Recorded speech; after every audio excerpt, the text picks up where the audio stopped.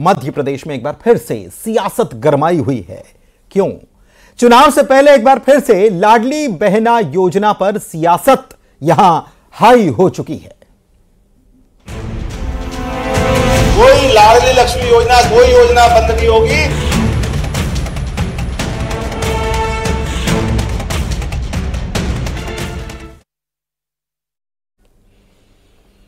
तो इस सियासत की वजह है महिला एवं बाल विकास विभाग का एक पत्र। दरअसल, महिला एवं बाल विकास विभाग ने सभी जिला कार्यक्रम अधिकारियों को एक पत्र जारी किया, जिसमें पात्र लाडली बहना योजना की सभी महिलाओं की लिस्ट 8 जनवरी तक बैंकों को भेजने के निर्देश दिए गए, ताकि 10 तारीख तक उनको, उनके खातों में राशि ट्रांसफ़र की जा सके। और इसी पर नेता प्रतिपक्ष उमंग सिंघार ने सवाल उठाए हैं। उन्होंने सोशल मीडिया पर लिखा है कि योजना के पात्र और अपात्रों की छटनी शुरू हो चुकी है। उधर कांग्रेस नेता के के मिश्रा उनके बयान का समर्थन करते नज़र आए। बीजेपी प्रवक्ता डॉक्टर दुर्गेश केसवानी ने पलटवार किया और कहा कि हार से कांग्रेस बौखला चुकी है। कांग्रेस पार्टी जब योजना लागू की गई थी,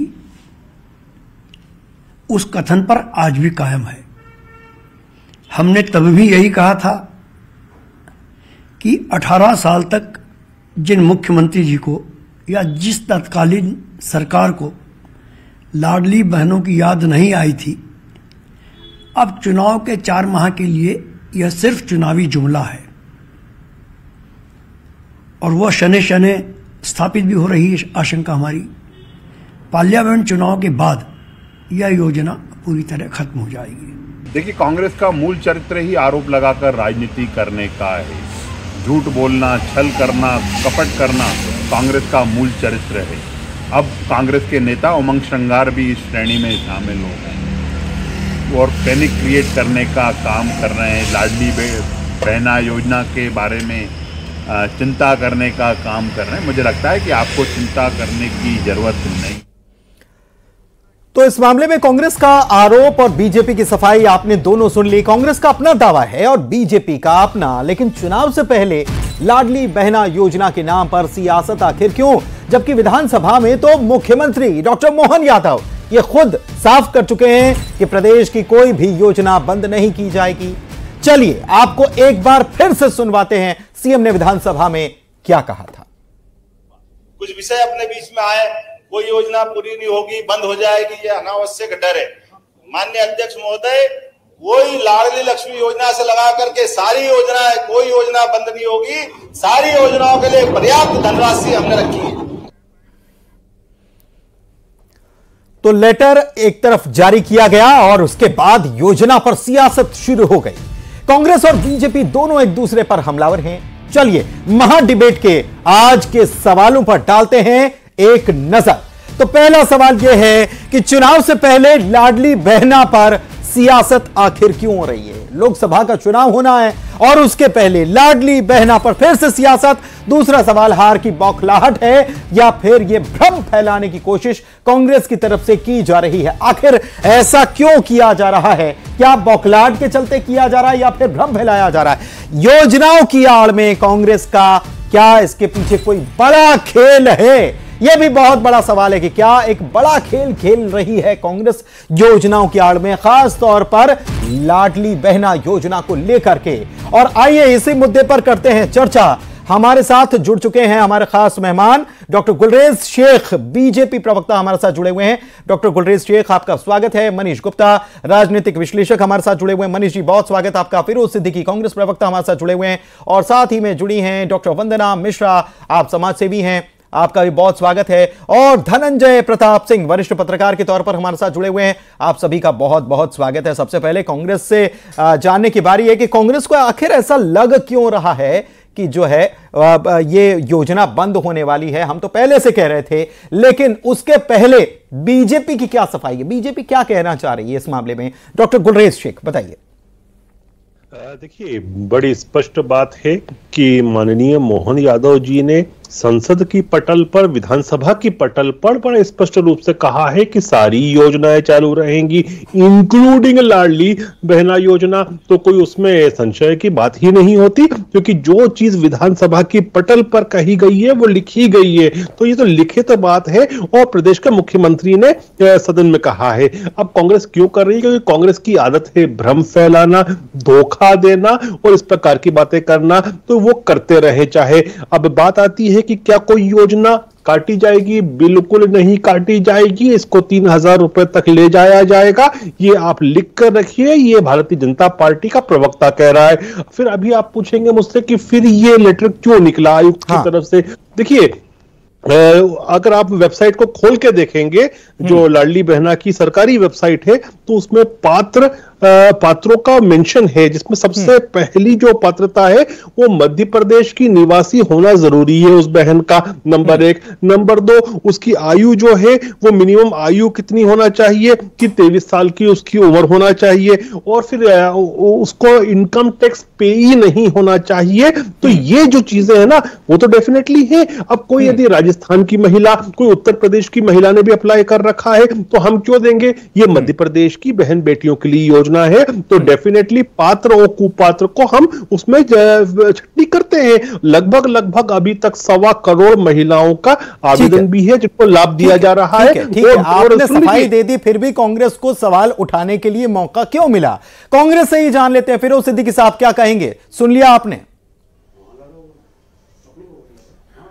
देखिए जो भारतीय जनता पार्टी जलेबियाँ बनाने का प्रयास कर रही है ये सबको समझ में आ रहा है। पहली बात यह है कि राज्यपाल के अभिभाषणों के में लाडली बहना योजना का ज़िक्र नहीं था जो राज्यपाल का अभिभाषण होता है, वो सरकार का पत्र होता है, जिसको राज्यपाल महोदय के मुख से निकाल मुख से वो आगे आता है, वो सदन के पटल पर रखा जाता है हम्म। नंबर एक बात जब ही रामनिवास रावत जी और उमंग सिंगार जी ने इसको लेकर सरकार से प्रश्न पूछे सरकार गोलमोल बात करती रही और हम्म। गोलमोल बात करते हुए बाद में मुख्यमंत्री ने यह नहीं कहा सदन में कि सब लाडली बहना योजना जारी रहेगी उन्होंने कहा सभी योजनाएँ जारी रहेंगी। तो उसके बाद फिर महिला एवं बाल विकास विभाग की जो सहायिका कहा कि सवाल जी सुन लीजिए सुन लीजिए जब राज्यपाल महोदय के अभिभाषण में आना चाहिए थी वो जब हम्म। सारी योजनाओं का ज़िक्र आया तो लाडली बहना क्यों गायब थी उसमें हम्म। हम तो यही सवाल पूछ रहे हैं कि, कि क्यों आप क्या राज्यपाल महोदय को अंधेरे में रखकर इस योजना को चलाना चाहते थे नंबर एक नंबर दो बात जब ये, ये आया कि सहायिकाएँ आंगनवाड़ी सहायिकाएँ हैं उनको लेकर एक आदेश जारी हुआ। फिर उमंग सिंगार जी ने इस मामले को उठाया तो सरकार ने वो आदेश वापस ले लिया। आज ये तीसरी नई घटना हो गई है कि इसमें पात्र और अपात्र की सूची मांगी जा रही है। तो हम्म। सरकार स्पष्ट वक्तव्य दे माननीय मुख्यमंत्री जी स्पष्ट वक्तव्य दें कि वो क्या कहना क्या इस योजना का क्रियान्वयन कब तक जारी रहेगा तीन हज़ार रुपए ये कब तक किए जाएँगे? या जो अभी सोमवार को कैबिनेट की बैठक होने वाली है जो प्रस्तावित है क्या उसमें इसको तीन हज़ार रुपए किया जाएगा? हम विपक्ष जो है बिल्कुल सटीक और सीधी बात सुनना चाहता है। और ये पात्र पात्र की सूची क्यों डाली गई? जो बहनों को लाभ मिल रहा है उनको मिलते रहना चाहिए समझते हैं कि विपक्ष की बातों में कितना दम नज़र आता है। विपक्ष कहता है कि राज्यपाल का अभिभाषण हुआ लेकिन इसका ज़िक्र नहीं हुआ। विपक्ष यह भी कह रहा है कि यह जो पत्र है कहीं ना कहीं कंफ्यूजन क्रिएट कर रहा है। मनीष जी मनीष जी क्या समझ रहे हैं आप इसको इसको देखते हुए कैसे देख रहे हैं इसको? ये जो बीजेपी की तरफ़ से कहा जा रहा है कि मुख्यमंत्री ने तो साफ़ कह दिया था सदन के भीतर कि कोई योजना बंद नहीं होगी लेकिन फिर भी कांग्रेस को डाउट हुए पुनीत भाई जब से मध्य प्रदेश में कांग्रेस चुनाव हार गई है हम्म। अब उनके पास कोई ऐसा बेसिस नहीं बचा है जिसके लिए वो कोई बज क्रिएट करें हम्म। राहुल गांधी जी को भारत जोड़ो न्याय यात्रा शुरू करनी है हम्म। और मध्य प्रदेश से कोई पॉजिटिव खबर ही नहीं आ रही कांग्रेस के लिए हम्म। ऐसे में वहाँ से मैसेज है चाहे झूठा हो सच्चा हो काला हो गोरा हो कोई मामला क्रिएट करो ताकि हम्म। पूरे देश में एक ऐसा माहौल बने कि नहीं कुछ गलत चल रहा है कुछ गलत हो रहा है हम्म। ताकि जनता में एक भ्रम क्रिएट किया जाए हम्म। अरे भाई जब स्पष्ट कह दिया मुख्यमंत्री ने कि भाई कोई योजना बंद नहीं होगी तो कोई बंद नहीं होगी और स्पष्ट रूप से दस तारीख को खबर आ रही है कि दस तारीख को लाडली बहनों का पेमेंट होने वाला है तो ऐसे में कांग्रेस ऐसा मैसेज देकर कहीं ना कहीं भ्रम क्रिएट करना चाहती है ताकि राहुल गांधी जो यात्रा कर रही है उसको एक जस्टिफिकेशन मिले कि, कि भाजपा ऐसा कर रही है भाजपा पैसा कर रही है। अन्याय और न्याय को जस्टिफाई करने के लिए न्याय को जस्टिफाई करने के लिए आप कह रहे हैं। बिल्कुल ताकि वो न्याय यात्रा की बात करें ना। अब हाँ। राज्यपाल ने अपने अभिभाषण में क्या कहा? भाई वो राज्यपाल का जो काम है वो कर रहे हैं। हम्म। जो काम मुख्यमंत्री का सरकार चलाने का मुख्यमंत्री कर रहे हैं। उनके अभिभाषण में क्या रहा क्या नहीं रहा? हम्म। उससे अगर उन्होंने कोई बात अभिभाषण में नहीं बोली तो वो प्रूव नहीं हुआ थी को नहीं होगा। हम्म। अगर मुख्यमंत्री और फिर दस तारीख तक का वेट कर लीजिए। एक बंदे के बाल बड़े सुंदर थे उसने कहा साहब मेरे नाव से भाई महाराज मेरे बाल बड़े अच्छे हैं। उनने कहा जितने सब नीचे आ जाएँगे सामने दस तारीख का इंतज़ार करिए सब सामने आ जाएगा। ठीक है दस तारीख का इंतज़ार कर लेना चाहिए। धनंजय प्रताप जी क्या वाकई में कांग्रेस कोई कंफ्यूजन क्रिएट करने की कोशिश कर रही है इस योजना की आड़ में? ये अ, अ, क्योंकि सामने लोकसभा चुनाव है तो कोई ना कोई मुद्दा चाहिए? अभी गर्मा गर्म होना चाहिए ऐसा?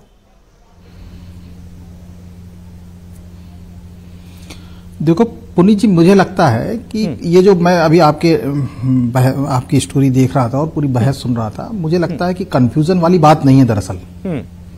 देखिए बात आप ये देखिए कि योजनाएँ जो चल सरकार शुरू करती है वो कभी कोई योजना को बंद नहीं किया जाता है।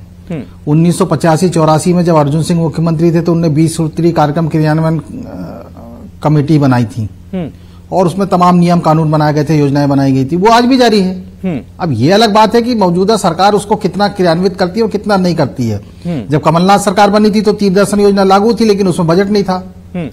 तो दरअसल योजनाएँ तो सब संचालित होती रहती हैं लेकिन योजनाओं का भविष्य क्या होगा ये उसको उस पर आने वाले खर्च पर निर्भर करता है। बजट एलोकेशन मुझे लगता है कि लाडली बहना हाँ बिल्कुल बिल्कुल निश्चित तौर पे। बजट बजट लोकेशन आप देखिए जब लाडली बहना योजना शुरू की गई थी तब आठ करोड़ आठ करोड़ आठ हज़ार करोड़ रुपए का प्रावधान किया गया था। सात किस्त बढ़ चुकी है आठवीं किस्त बढ़ना है। सत्रह सौ करोड़ रुपए पर महीने का खर्च है। आफ्टर ऑल सरकार पर भी तो ये एक तरह का संकट ही है ना कि हर महीने सत्रह सौ करोड़ रुपए वो कब तक के बांटेगी?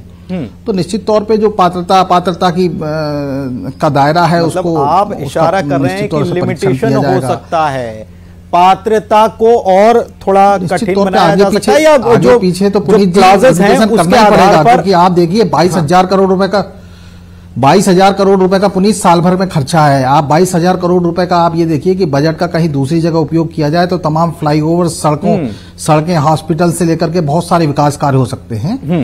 तो बाकी सरकार को सरकार को बाकी विकास का कार्य के लिए भी बजट की व्यवस्था करना है। तो ऐसी स्थिति में कुछ ना कुछ तो सरकार बीच का रास्ता निकालेगी आज नहीं निकालेगी कल निकालेगी। आज नहीं निकालेगी कल निकालेगी। डॉक्टर वंदना मिश्रा आप समाज सेविका हैं। महिलाओं की स्थिति तो सुदृढ़ हुई है और ये भी कहा गया कि महिलाओं ने बढ़ चढ़कर इसीलिए वोट किया। शिवराज सिंह चौहान भी इस वक्त याद आते हैं जब महिलाएँ जो हैं जब वो जहाँ जाते हैं तो उनको देखकर रोने लगती हैं और भैया भैया कहती हैं इस योजना से फ़ायदा कितना पहुँचा?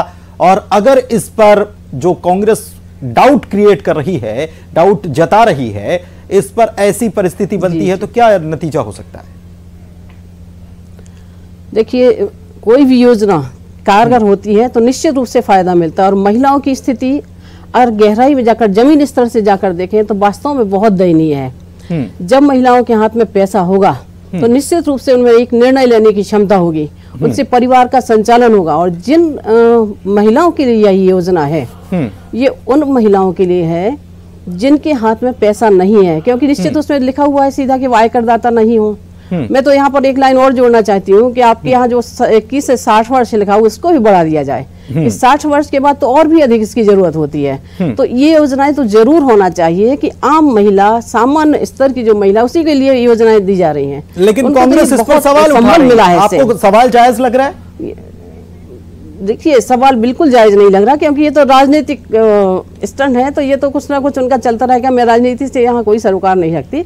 हकीकत ये है कि योजनाओं को हमें बढ़ चढ़ के सहयोग देना चाहिए और इस तरह की योजनाएँ उस आम जन तक पहुँचती है। अगर वो आम जन ही स्वस्थ और सुरक्षित नहीं है तो जैसा कि हमारे पुष्पन जी ने कहा तो विकास कहाँ किसके लिए विकास होगा? पहले तो हमें व्यक्ति स्वस्थ चाहिए पोषित चाहिए तब उसका विचार विकसित होगा और जब विचार विकसित होगा तब देश विकसित कर, विकास करेगा। तो ये विकास यात्रा भी तो वहीं से शुरू होगी जब हमारी महिला संबल होगी। तो इसलिए ये योजनाएँ तो लागू होना रहना चाहिए। और अधिक से अधिक भले तीन हज़ार तक ना भी ले जाए आप उसको एक लिमिटेशन रखें पात्र अपात्र की सूची जो है ये भी जायज़ है क्योंकि अपात्र को जाने से एक पात्र का हिस्सा मारा जाता है। तो इसमें भी मुझे नहीं लगता कि कोई डाउट किसी को करना चाहिए। पात्रता परीक्षण कर लेना बहुत अच्छी बात है। ठीक है। फिरोज लेकिन ये योजनाएँ लागू रहना चाहिए। आपके पास चलते हैं। कांग्रेस प्रवक्ता हमारे साथ जो जुड़े हुए हैं। फिरोज जी आपका ये जो एक तरफ़ उमंग सिंघार जो है, वो पत्र जारी कर रहे हैं और कह रहे हैं कि आखिर ये नौबत क्यों आ गई कि अब सूची भेजना पड़ रही है। लेकिन आप तो सवाल दूसरा ही उठा रहे हैं। आप कह रहे हैं कि राज्यपाल के अभिभाषण में इसका ज़िक्र नहीं किया। आप कह रहे हैं कि तीन हज़ार रुपए कब होंगे। लेकिन इसमें तो साफ़ ज़िक्र है कि दस तारीख को ये राशि जारी करनी है। इसलिए आठ तारीख तक आप नाम पहुँचा दीजिए। देखिए, भ्रम कांग्रेस पैदा नहीं कर रही है। भ्रम कांग्रेस पैदा नहीं कर रही है। कांग्रेस की मांग ये है कि जो पहले से पात्र हैं जिन महिलाओं को मिल रहा था उन महिलाओं को मिलते रहना चाहिए ये हमारी मांग है। उमंग सिंगार जी भी यही कह रहे हैं। खुद शिवराज सिंह जी ने कहा कि लाडली बहना योजना बहनों में बंद होने नहीं दूँगा। एक नहीं तीन तीन बार उन्होंने ये कहा है। तो आप ही के पूर्व मुख्यमंत्री हैं एक बात। दूसरी बात ये 31 32 योजनाओं में पैसा नहीं जा रहा है महिलाओं से संबंधित पैसा नहीं जा रहा है। विकलांग योजना हो मूक बधिर योजना हो सामाजिक पेंशन योजना हो वृद्धा पेंशन योजना हो ये सारी योजनाएँ बंद पड़ी हैं। अगर सरकार के पास मुकम्मल बजट है तो उसको मुकम्मल बजट पे बात करनी चाहिए थी। और अब राज्यपाल महोदय के अभिभाषण में अगर सरकार इस मुद्दे को ले आती तो फिर फंस जाती। और प्रदीप गुप्ता जी जो कह रहे हैं कि राहुल गांधी जी की जो यात्रा चल रही है न्याय यात्रा ये हाँ। सामाजिक और आर्थिक न्याय के लिए चल रही है और हमें बज नहीं क्रिएट करना है। हम तो ये कह रहे हैं छब्बीस तारीख तक। सरकार सुकून में रह सकते हैं मोहन यादव जी। उसके बाद उसके बाद हम इकतीस सौ रुपए धान के सत्ताईस सौ रुपए गेहूँ के तीन हज़ार रुपए लाडली बहना के साढ़े चार सौ रुपए सिलेंडर के। जीतू पटवारी जी ने कह दिया कि छब्बीस तारीख के बाद आप मैदान में आ जाएँगे हम। तो उसके बाद हम सरकार का नाक में दम करने वाले हम सड़कों सड़कों पर में दम करने वाले सरकार की नाक में दम करने वाले हैं तरफ़ से। और क्या कह रहे हैं आपने सुनी लिया। लेकिन गुलरेज शेख जी ये तो लिस्ट पहले से तैयार थी क्योंकि पैसा तो जा रहा था सात महीनों से पैसा जा रहा है। आखिर क्या इस बात की चिंता महिलाओं को उन हितग्राहियों को करनी चाहिए कि एक बार फिर से इसकी स्क्रूटनी तो नहीं होने वाली इस लिस्ट की? कि कौन पात्र है कौन अपात्र भी इसमें शामिल हो गया। क्योंकि इसके पहले तो सभी पात्र जो हैं उन्हीं को पैसा मिल रहा था। देखिए वैसा भी ये मोदी और मोहन की सरकार है सारी चीज़ें ट्रांसपेरेंसी से होती है कोई दबी छुपी बात नहीं होती। आप एक काम करें और मैं आपके दर्शकों को कहता हूँ कि जो मुख्यमंत्री लाडली बहना योजना है उसकी वेबसाइट को खोलें। उसमें कितनी एप्लीकेंट्स हैं जिनको लाभ मिल रहा है उसका नंबर लगभग लगभग सवा करोड़ के ऊपर है वो आपको स्पष्ट दिख जाएगा। लेकिन दो लाख के आसपास ऐसी भी एप्लीकेशन है जो संदेहास्पद है और जिनके खिलाफ किसी ने किसी ने कंप्लेन की है उसका भी नंबर मिलेगा आपको। कि कि दो लाख के आसपास कंप्लेन्स आई हैं कि ये अपात्र हैं तो क्या उनकी स्क्रूटनी नहीं होना चाहिए? क्या उनको देखा नहीं जाना चाहिए? क्या आप ये चाहते हैं कि एक महिला जो बहुत अच्छे घर से है जो बहुत पैसे वाले परिवार से है जिसकी खुद की जॉब है जिसके पर्स में खूब पैसा रहता है क्या उसको वो पैसा दिया जाए? नहीं लेकिन धनंजय जी धनंजय प्रताप जी क्या कह रहे हैं? उनका इशारा क्या है कि योजना कोई बंद नहीं होती है?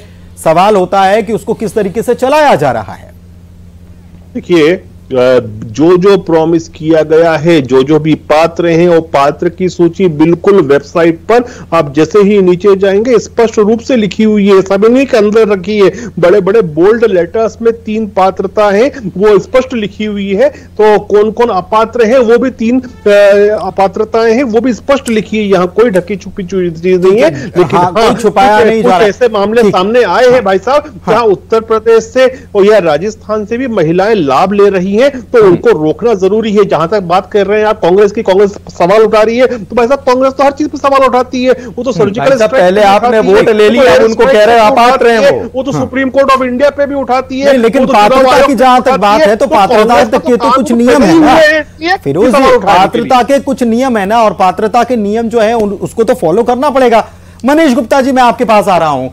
तीन हज़ार रुपए किया जाए जब- तीन हज़ार रुपए की मांग लगातार की जा रही बात लगातार कही जा रही थी और कांग्रेस कह रही है कि 26 तारीख का इंतज़ार कीजिए उसके बाद तीन हज़ार रुपए की हम बात करने वाले हैं। आपको क्या लग रहा है? अभी कांग्रेस ये कह रही थी कि हम नाक में दम कर देंगे। हम्म। ये बात कांग्रेस के इंटेंट को बताती है। ये कहती है कि इन्होंने एक कंस्ट्रक्टिव विपक्ष की भूमिका निभानी नहीं है। इनको सिर्फ़ सत्ता पक्ष को परेशान करना है क्योंकि ये अभी तक इस सच को स्वीकार नहीं कर पाए। लोगों ने वो देश को दो टुकड़े में बांट के डिस्ट्रॉय कर दिया वो कंस्ट्रक्टिव होंगे कैसे? जिन लोगों ने देश को विभाजित कर दिया डिस्ट्रॉय कर दिया उनसे कंस्ट्रक्शन की बात कैसे सोच सकते हो आप? फिरोज अब भी मुस्कुरा रहे हैं। बिल्कुल अगर आपने नहीं दिए तो हम आपकी नाक में दम कर देंगे दोबारा कह रहा शुरू हूँ। होगा। मोहन मोहन सरकार की नाक में दम कर देंगे योजना अगर आप ये समझ लेना ये जीतू पटवारी जी नहीं कि भाजपा को आगे बढ़ना है आगे बढ़ने से रोकना है। मसला ये नहीं है कि भाजपा अगर कुछ काम ठीक ना करे तो उसको खींच के काम कराना है। नहीं। मसला ये है कि राहुल गांधी को उनके राहुल गांधी को मसाला देना है। करना है फिरोज जी कि राहुल गांधी कुछ करने आ रहा है ये दिखाना है। जी फिरोज जी जवाब दीजिए। गांधी कुछ करने के लिए आ रहा है ये दिखाना है। हम हमने हमने हमने एक महीने का पूरा समय दिया है सरकार का। सरकार को मोदी की गारंटियाँ पूरी करो। तेलंगाना में कांग्रेस की सरकार है। हमने जितनी गारंटियाँ दी थी पहली कैबिनेट में पूरी की। आप क्यों नहीं कर रहे इस काम को? मोदी की गारंटियाँ पूरी लेकिन करो आपने जो किसानों से वायदे किए बहनों से वायदे किए वो उसको पूरा तो कीजिए। नहीं तो हम आपकी नाक में दम वाकई कर देंगे और आपको मजबूर कर देंगे भारतीय जनता पार्टी को ये करना पड़ेगा। फिरोज जी आप तीन हज़ार रुपए की 370 सीधे अगर बात कर रहे हैं तो सवाल ये भी उठ रहा है पूरा क्योंकि पूर्व सीएम शिवराज सिंह चौहान मंचों से कहते हुए नज़र आए थे कि अभी हम हज़ार दे रहे हैं फिर साढ़े बारह सौ करेंगे फिर धीरे धीरे करके इसे तीन हज़ार तक ले जाएँगे। आप सीधे तीन हज़ार पर आ रहे हैं। का भी पूरा होगा क्योंकि इनको तो कुछ बिल्कुल क्यों? आपने जब तीन हज़ार आपने जब इनको कुछ जगह जगह उन्होंने शिवराज सिंह जी ने भारतीय जनता पार्टी के नेताओं ने तीन हज़ार की बात तो की थी। तीन हज़ार रुपए दो अब आप बहनों को। है बॉस? ठीक है तीन हज़ार रूपए दीजिए कि किसानों को इकतीस सौ रुपए दीजिए। हम्म, दीजिए ना धान धान डेढ़ डेढ़ लाख मैट्रिक टन सरकार खरीद चुकी है तो किसानों को इकतीस सौ रुपए क्यों नहीं देते बकाए के? क्यों आप इक्कीस सौ पचास रुपए ही दे रहे हैं उनको? अरे तो हम तो सवाल कर रहे हैं आप आपने जो वायदे किए थे वो पूरे करिए। ठीक है डॉक्टर वंदना मिश्रा हमारे साथ समाज सेवी जो हैं वो जुड़ी हुई हैं। आप बीजेपी कांग्रेस दोनों बात तो एक ही कर रही है। कि महिलाओं के काम के लिए महिलाओं के उत्थान के लिए ये काम हो रहा है। कांग्रेस कह रही है कि तीन हज़ार कब दोगे? डॉक्टर वंदना मिश्रा क्या तीन हज़ार रुपए की बात होती है? या फिर अभी जो मिल रहा है ये मिलता रहे और कंटिन्यूटी के साथ इसको धीरे धीरे धीरे करके आगे बढ़ाने के बाद जो शिवराज सिंह चौहान भी कह चुके हैं। जी जी बिल्कुल सही है कि अभी जो मिल रहा है उसको चलने दीजिए फिर आपका बजट जैसे जैसे बढ़ता है जैसे बजट आता है तो उसको आप आगे बढ़ा सकते हैं। लेकिन जो मिल रहा है उतनी आवश्यकता उनको है। हालाँकि तीन हज़ार रुपये अगर महिलाओं को मिल जाता है तो वास्तव में जिस ज़मीन तक ये चीज़ जानी है जिस योजना जिस उद्देश्य से बनी है वह लाभ इनको मिलेगा। ज़मीन पर क्या नज़र आ रहा है के पास बिल्कुल ज़मीन स्तर तक क्योंकि जिस महिला के पास जैसे परित्यक्ता है विधवा है और बच्चे हैं उसका परिवार है आयकर आयकर नहीं देता है परिवार नहीं चल पा रहा है तो वो तीन हज़ार रुपये तो बहुत मायने रखता है उस परिवार को। वह परिवार अपनी पूरा भरण पोषण कम से कम भोजन यापन उनका चल सकता है। जीवन यापन अच्छे से चल सकता है। तो इस तरह से ये ऐसी योजनाएँ जो भारत जैसे देश में जिनकी आवश्यकता है तो ये बनी रहना चाहिए। भले इसके लिए अभी जो राशि दी जा रही है वो दी जाए के पास और धीरे धीरे इस राशि को बढ़ा दिया जाए। धनंजय प्रताप जी ये कह रहे थे वरिष्ठ पत्रकार जो कह रहे थे उनका ये कहना है कि भाई इतना पैसा आप अगर इस योजना में लगा रहे हैं तो आपके पास आय कितनी है? आप इतना खर्च तो कर रहे हैं, लेकिन फिर कैसे बैलेंस करेंगे आप? क्योंकि नोट छाप, छापे तो नहीं जा रहे हैं। जनता से टैक्स लिया जा रहा है, जनता को दिया जा रहा है। देखिए पुनीत जी ये बहुत अच्छा प्रश्न है इसका जवाब देना चाहूँगा मैं। मध्य प्रदेश की जो स्टेट जीडीपी है उसमें विस्तार जो हो रहा है सत्रह दशमलव तीन प्रतिशत के हिसाब से हो रहा है। ये बात डॉक्टर गुलरेज नहीं कह रहा ये वर्ल्ड बैंक और इंटरनेशनल मॉनेटरी फंड कह रहा है। मतलब भारत की जो विकास दर है उससे लगभग दुगनी विकास दर मध्य प्रदेश राज्य की है। मतलब हम ड्राइविंग इंजन है आज के समय तो हमारे पास पर्याप्त साधन है। हमारी आय बढ़ती जा रही है और हम और भी यहाँ पर ऐसे चीज़ें ला रहे हैं चाहे सर्विस बेस्ड इंडस्ट्री हो चाहे मैन्युफैक्चरिंग इंडस्ट्री हो कि मध्य प्रदेश की आय और बढ़ना निश्चित है। तो हाँ। कोई समस्या नहीं आने वाली पैसे की। ठीक है ठीक है कोई समस्या नहीं है। धनंजय जी कोई समस्या नहीं जताई जा रही है बीजेपी की तरफ़ से। लेकिन आपको क्या लगता है इस योजना का भविष्य क्या कुछ रहने वाला है? पुनीत जी। आप मुझसे पूछ रहे हैं पुनीत जी? जी धनंजय जी। देखिए पुनीत जी मैं आपने पूछा योजना का भविष्य क्या रहने वाला है तो मैं मुझे लगता है कि देखिए योजना तो संचालित रहेगी इसमें कोई शक की बात नहीं है। लेकिन पात्रता और अपात्रता की जो छटनी है उससे संख्या घट सकती है कम ज़्यादा हो सकती है एक अलग बात है। लेकिन जिस तरह से हमारे आपके प्रवक्ता भाई गुलरेज शेख जी बात कर रहे हैं जीडीपी की दर बता रहे हैं तो थोड़ा सा मैं आपके माध्यम से उनसे ये भी सवाल पूछना चाहता हूँ कि अगर योजना बहुत ज़्यादा लाभप्रद है सामाजिक उत्थान की है तो क्या इस योजना को पूरे देश भर में लागू किया जा रहा है क्या? उनके पास सवाल का जवाब है क्या? ठीक है गुलरेज जी शॉर्ट में बिल्कुल शॉर्ट में हाँ या ना? पुलिस जी यदि कोई हमारा राष्ट्रीय प्रवक्ता होता तो ये इस बात का जवाब देता। आप भी समझते हैं कि मैं इस चीज़ के लिए नहीं हूँ हकदार नहीं हूँ इसका जवाब देने के लिए। ठीक है लेकिन एक सवाल तो खड़ा करके आप जा रहे हैं ठीक है सवाल तो खड़ा किया ही जा रहा है यहाँ पर कि क्या इसे नेशनल लेवल पर लॉन्च किया जाना चाहिए। बहुत